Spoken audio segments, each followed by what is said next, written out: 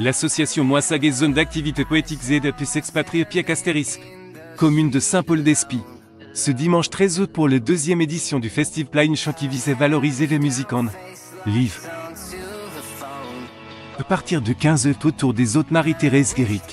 Les visiteurs pourront profiter d'une exposition de peinture et photographie ainsi que d'ateliers créatifs. Et 16 heures, coup d'envoi des concerts avec le 13 Cocktail Jazz Swing Latino.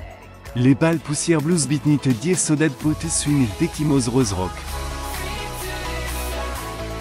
La soirée se clôturait par un set de DJ du Pilgrim Record 2. Buvette et restauration sur place. Participation libre.